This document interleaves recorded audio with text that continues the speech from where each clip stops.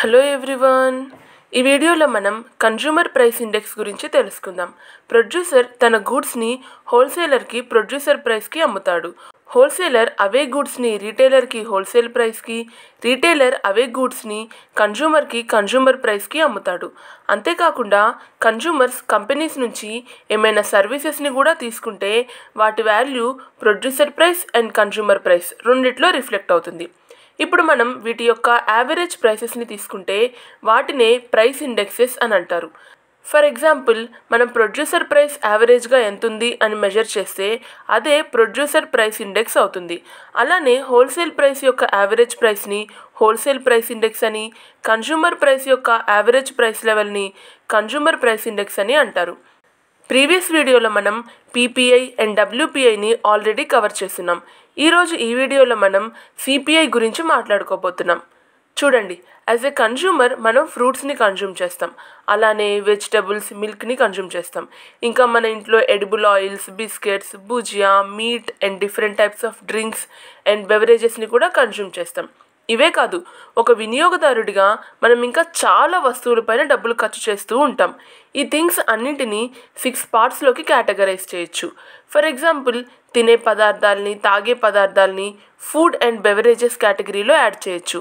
Electricity cooking gas and fuel లాంటి థింగ్స్ని fuel and light కేటగిరీలో క్లోత్స్ షూస్ అండ్ చెప్పల్స్ లాంటి థింగ్స్ని క్లోతింగ్ అండ్ ఫుట్వేర్ కేటగిరీలో ప్లేస్ చేయొచ్చు. కొంతమంది పాన్ టొబాకో అండ్ ఇంటాక్సికెంట్స్ని యూస్ చేస్తారు. ఇవి సపరేట్గా ఒక కేటగిరీ కిందకు వస్తాయి ఇంకా హౌసింగ్ అండ్ హౌసింగ్ రిలేటెడ్ ఛార్జెస్కి కూడా మనం డబ్బులు ఖర్చు పెడుతూ ఉంటాం. అంతే కదా? సో ఇవే ఫైవ్ కేటగిరీస్. ఇక మిస్లీనియస్ అంటే రిమైనింగ్ థింగ్స్ ఏమన్నా ఉంటే వాటన్నింటినీ సిక్స్త్ కేటగిరీలోకి ప్లేస్ చేస్తాం. ఫర్ ఎగ్జాంపుల్ మనం పర్చేస్ చేసే ornaments car electric appliances furniture లాంటి అన్ని థింగ్స్ని మిస్లీనియస్ కేటగిరీలో ప్లేస్ చేయొచ్చు. ఈ సిక్స్ కేటగిరీస్కి సంబంధించి ఒక కన్జ్యూమర్ అంటే వినియోగదారుడు వేటి వేటికి ఎంత ఖర్చు పెడుతున్నాడు? అంటే కన్సంప్షన్ ప్యాటర్న్ ఎలా ఉంది అనేది తెలుసుకోవాలనుకుంటే ఫస్ట్ వీటికి సంబంధించిన డేటా కలెక్ట్ చేయాల్సి ఉంటుంది. కానీ క్వశ్చన్ ఏంటంటే యావరేజ్గా ఒక కేటగిరీ మీద ఒక పర్సన్ ఎంత ఖర్చు పెడుతున్నాడో తెలుసుకోవాలంటే మనం ప్రీవియస్గా ఎన్ని మంత్స్ డేటాని కలెక్ట్ చేయాలి? ఫర్ ఎగ్జాంపుల్ ఒక పర్సన్ ప్రీవియస్ సెవెన్ డేస్లో ఫుడ్ అండ్ బెవరేజెస్ మీద ఎంత ఖర్చు పెట్టాడు అనే డేటా మనకు తెలిస్తే ఓ ఇతను ఫుడ్ అండ్ డ్రింక్స్ మీద యావరేజ్గా ఇంత ఖర్చు పెడుతున్నాడనమాట అని తెలుస్తుంది. అంతే కదా? బికాస్ ఫుడ్ అండ్ బెవరేజెస్ మీద మనం ఫ్రీక్వెంట్గా ఖర్చు పెడుతూ ఉంటాం. సో సెవెన్ డేస్ డేటా దొరికితే చాలు. అదేవిధంగా పాన్ టొబాకో అండ్ ఇంటాక్సికెంట్స్ మీద ఎంత ఖర్చు పెడుతున్నాడు అని తెలుసుకునే దానికి కూడా ఒక సెవెన్ డేస్ డేటా దొరికితే సరిపోతుంది. కానీ హౌసింగ్ అండ్ హౌసింగ్ రిలేటెడ్ ఛార్జెస్కి సంబంధించి మనకి సెవెన్ డేస్ డేటా సరిపోదు. ఇక్కడ అట్లీస్ట్ వన్ మంత్ డేటా అవసరమవుతుంది. అప్పుడే మనం యావరేజ్గా హౌసింగ్ ఛార్జెస్ ఎంత అవుతున్నాయి అనేది క్యాలిక్యులేట్ చేయగలం. ఇదే విధంగా ఫ్యూయల్ అండ్ కరెంట్ బిల్ కూడా మంత్లీనే క్యాలిక్యులేట్ చేస్తాం. కానీ క్లోతింగ్ అండ్ ఫుట్వేర్ కేటగిరీకి వస్తే మనం ఇవి ప్రతి నెల కొనం కదా. కొందరు రెండు నెలలకు కొంటే కొందరు సంవత్సరానికి ఒకసారి కొంటారు. సో ఈ క్లోతింగ్ ఫుట్వేర్ కేటగిరీకి మాత్రం అట్లీస్ట్ వన్ ఇయర్ డేటా కావాలి. ఇలాగే మిస్లీనియస్ థింగ్స్కి కూడా అట్లీస్ట్ వన్ ఇయర్ డేటా యొక్క అవసరం ఉంటుంది. ఏ కేటగిరీకి ఎంత టైం పీరియడ్ డేటా అవసరం అవుతుందో దాన్నే రిఫరెన్స్ పీరియడ్ అని అంటారు. ఫర్ ఎగ్జాంపుల్ ఒక వినియోగదారుడు food beverages paan tobacco and intoxicants మీద ఎంత ఖర్చు పెడుతున్నాడో తెలుసుకోవాలంటే సెవెన్ డేస్ రిఫరెన్స్ పీరియడ్ కావాలి. అలాగే హౌసింగ్ ఫ్యూయల్ అండ్ పవర్కి సంబంధించి reference period thirty days. And clothing footwear and miscellaneous category యొక్క reference period three sixty five days. ఫ్రీక్వెంట్గా కన్జ్యూమ్ చేసే వాటికి షార్ట్ రిఫరెన్స్ పీరియడ్ అండ్ ఎప్పుడో ఒకసారి కొనే వాటికి లాంగ్ రిఫరెన్స్ పీరియడ్ తీసుకుంటాం. ఇంటర్నేషనల్గా కూడా డేటాని ఈ విధంగానే రికార్డ్ చేస్తారు. దీన్నే మనం ఇండియాలో ఎంఎంఆర్పి అనే పేరుతో పిలుస్తాం. అంటే మాడిఫైడ్ మిక్స్డ్ రిఫరెన్స్ పీరియడ్ ఇది ఇంటర్నేషనల్ ప్రాక్టీస్ మాత్రమే కాదు ఎప్పటి నుంచో కన్సిస్టెంట్గా కూడా ఉంది. యాక్చువల్లీ ఈ త్రీ కేటగిరీస్కి రిఫరెన్స్ పీరియడ్ వేరువేరుగా ఉంది కదా అందుకే దీన్ని మాడిఫైడ్ మిక్స్డ్ రిఫరెన్స్ పీరియడ్ అని అంటారు. అదే అన్నింటికీ సేమ్ రిఫరెన్స్ పీరియడ్ తీసుకున్నారు అనుకోండి దాన్ని యూనిఫామ్ రిఫరెన్స్ పీరియడ్ అని అంటారు యూఆర్పి ఒకవేళ కేవలం టూ రిఫరెన్స్ పీరియడ్స్ని మాత్రమే తీసుకుంటే అంటే కొన్ని ఐటమ్స్కి సెవెన్ డేస్ రిఫరెన్స్ పీరియడ్ కొన్ని ఐటమ్స్కి వన్ మంత్ రిఫరెన్స్ పీరియడ్ దాన్ని మాడిఫైడ్ రిఫరెన్స్ పీరియడ్ అని అంటాము ఎంఆర్పి కానీ మనం ఇక్కడ త్రీ రిఫరెన్స్ పీరియడ్స్ తీసుకున్నాం కదా అందుకే దీన్ని మాడిఫైడ్ మిక్స్డ్ రిఫరెన్స్ పీరియడ్ అని లేదా ఎంఎంఆర్పి అని అంటారు. సో ఇప్పటి వరకు జరిగిన డిస్కషన్ ద్వారా మనం ఒక కంట్రీ తమ కన్జ్యూమర్స్ యొక్క కన్సంప్షన్ డేటాని ఏ విధంగా రికార్డ్ చేస్తుందో చూసాం బట్ ఆబ్వియస్లీ మన దేశంలో వినియోగదారుల యొక్క కన్సంప్షన్ ప్యాటర్న్ చాలా వరకు డిఫరెంట్గా ఉంటుంది.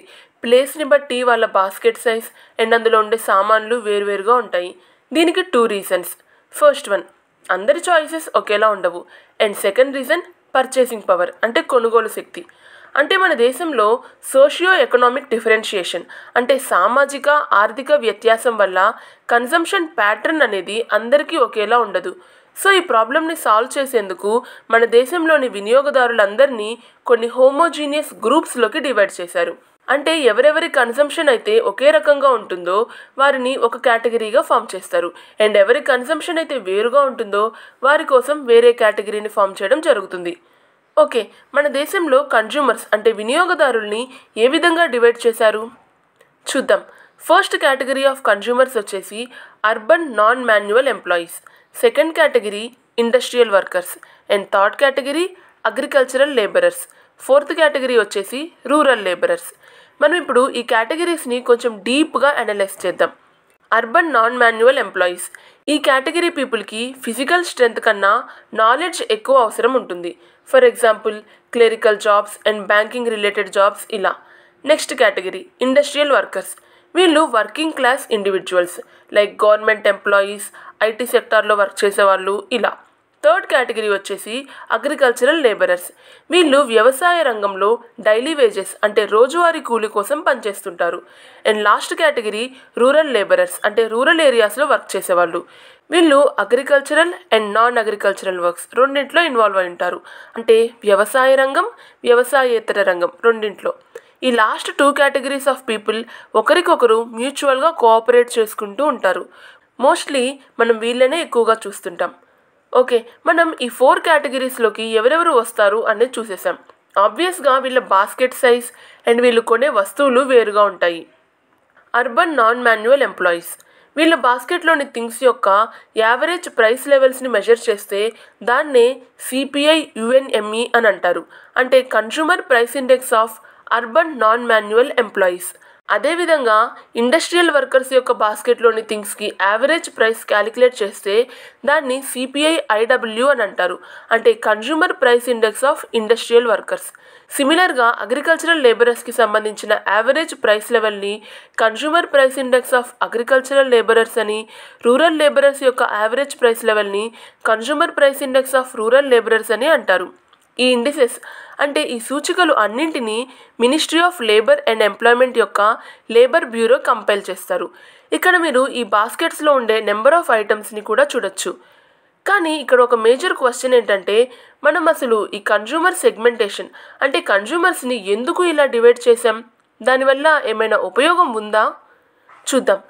యాక్చువల్లీ కన్జ్యూమర్స్ అంటే వినియోగదారుల్ని డివైడ్ చేయడం వాళ్ళు యావరేజ్గా ఎంత ఖర్చు పెడుతున్నారు అని తెలుసుకోవడానికి డిఫరెంట్ డిఫరెంట్ ఇండిసెస్ అంటే సూచికల్ని క్యాలిక్యులేట్ చేయడం వీటి వల్ల చాలా ఉపయోగాలే ఉన్నాయి. ఫర్ ఎగ్జాంపుల్ సిపిఐ యుఎన్ఎంఈ గురించి చూస్తే ఎంప్లాయీస్కి శాలరీ ఇచ్చేటప్పుడు అందులో డిఎన్ఎస్ అలవెన్స్ అని ఒకటి ఉంటుంది డిఏ అంటారు. ఈ డిఏ హెల్ప్ తోటే కాస్ట్ ఆఫ్ లివింగ్ అంటే జీవన వ్యయాన్ని అడ్జస్ట్ చేస్తారు. పలానా ఎంప్లాయీకి డిఏ ఎంత ఇవ్వాలి అనేది ఆర్ రివైజ్ చేయాలంటే ఎంత రివైజ్ చేయాలి అనేది సిపిఐ యుఎన్ఎంఈని ఆధారంగా చేసుకునే డిసైడ్ చేస్తారు. అలాగే సిపిఐ ఐడబ్ల్యూ కూడా డిఎన్ఎస్ అలవెన్స్ని క్యాలిక్యులేట్ చేయడానికే యూస్ చేస్తారు. కానీ ఈ రెండింటి మధ్య డిఫరెన్స్ ఏంటి అనేది చూద్దాం. ఇండియాలోని కొన్ని సర్వీస్ సెక్టార్స్లో ఎంప్లాయీస్ ఫారిన్ కంపెనీస్కి వర్క్ చేస్తూ ఉంటారు. For example airlines banking communications and financial service sectors etcetera వీళ్ళకి డిఎన్ఎస్ ఎలవెన్స్ ఎంత ఇవ్వాలి అని క్యాలిక్యులేట్ చేసేందుకు సిపిఐ యుఎన్ఎంఈని యూస్ చేస్తారు. అండ్ సిపిఐ ఐడబ్ల్యూ యొక్క డేటాని సెంట్రల్ గవర్నమెంట్ అండ్ స్టేట్ గవర్నమెంట్లో వర్క్ చేసే మాన్యువల్ వర్కర్స్ అండ్ ఎంప్లాయీస్ యొక్క డిఎన్ఎస్ ఎలవెన్స్ని క్యాలిక్యులేట్ చేసేందుకు యూస్ చేస్తారు. ఇప్పుడు CPI AL and CPI RL గురించి మాట్లాడుకుందాం.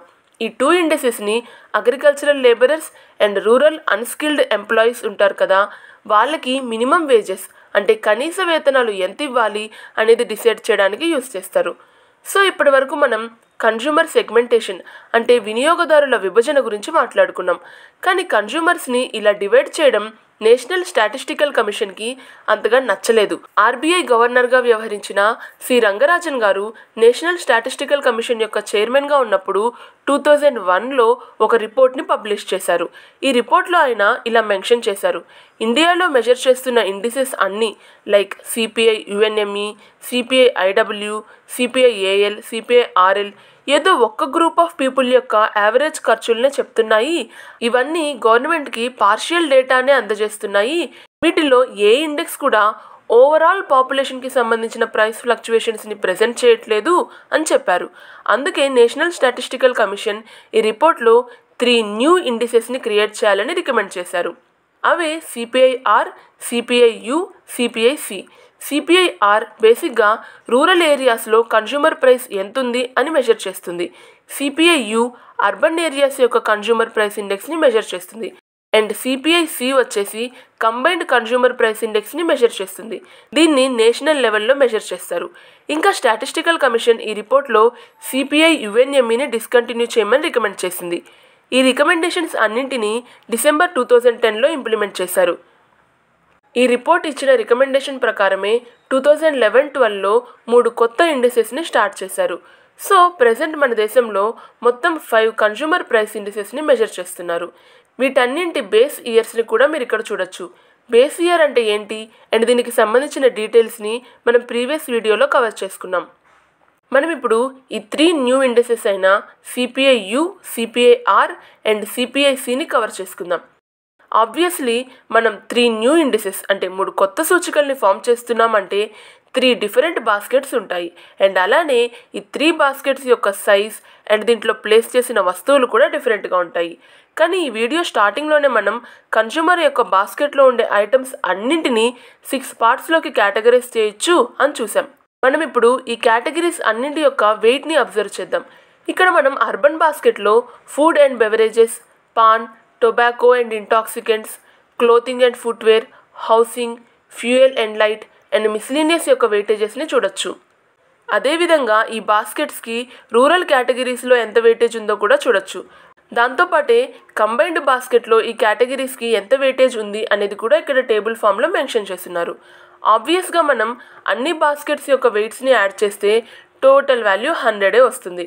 ఇక్కడ మనం ఒక్కటి అబ్జర్వ్ చేయాలి. ఈ త్రీ బాస్కెట్స్లో అన్నింటికన్నా ఎక్కువ వెయిటేజ్ ఉండే థింగ్ వచ్చేసి ఫుడ్ అండ్ బెవరేజెస్ రూరల్ బాస్కెట్లో కూడా ఫుడ్ అండ్ బెవరేజెస్ యొక్క weightage fifty four point one eight percent వాల్యూతో అన్నింటికన్నా ఎక్కువగానే ఉంది. ఇంకా రూరల్ బాస్కెట్లో హౌసింగ్ యొక్క వెయిటేజ్ జీరో బికాస్ పల్లెటూర్లలో rent and housing charges almost నెగ్లిజబుల్గానే ఉంటాయి. కదా? కానీ అదే అర్బన్ ఏరియాస్లో హౌసింగ్ అనేది చాలా ఎక్కువ ఖర్చుతో కూడుకొని ఉంటుంది నెక్స్ట్ ఇంపార్టెంట్ పాయింట్.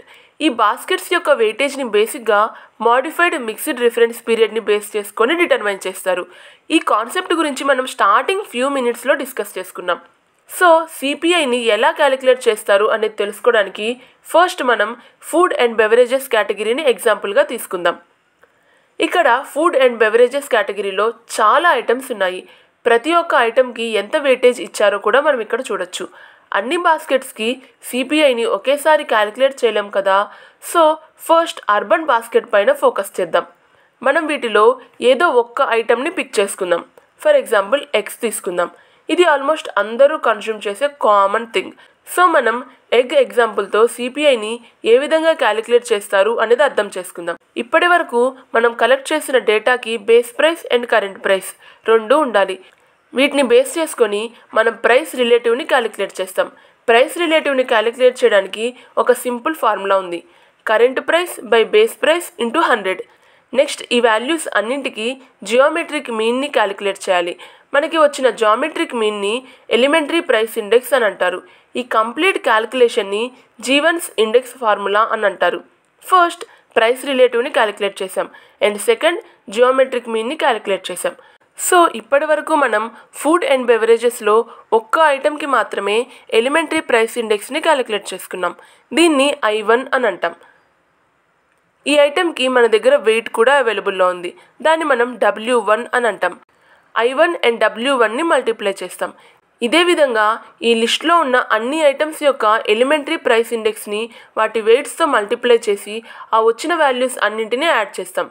అండ్ ఫైనల్గా వచ్చిన వాల్యూని అన్ని ఐటమ్స్ యొక్క వెయిట్తో డివైడ్ చేస్తాం. దాన్నే లాస్పేర్స్ ఇండెక్స్ ఫార్ములా అని అంటారు. ఈ ఫార్ములాని అన్ని కేటగిరీస్లో ఉన్న అన్ని ఐటమ్స్కి అప్లై చేస్తాం. అండ్ ఫైనల్గా వచ్చిన వాల్యూని సిపిఐ యు లేదా సిపిఐ అర్బన్ అని అంటారు. సో ఇక్కడ మనం అర్బన్ బాస్కెట్ యొక్క కన్జ్యూమర్ ప్రైస్ ఇండెక్స్ని ఏ విధంగా క్యాలిక్యులేట్ చేస్తారో చూసాం ఇదే విధంగా మనం rural basket and combined basket యొక్క కన్జ్యూమర్ ప్రైస్ ఇండెక్స్ని కూడా క్యాలిక్యులేట్ చేస్తాం. సో ఇవే కన్జ్యూమర్ ప్రైస్ ఇండెక్స్కి సంబంధించిన కంప్లీట్ డీటెయిల్స్ ఇదే విధంగా మీరు ఇండియన్ హిస్టరీ అండ్ ఇండియన్ ఎకానమీని డీటెయిల్డ్గా కవర్ చేయాలి అనుకుంటే బుక్స్తవా తెలుగు ప్లేలిస్ట్ని ఫాలో అవ్వండి. And thank you so much for watching and supporting Booksthava.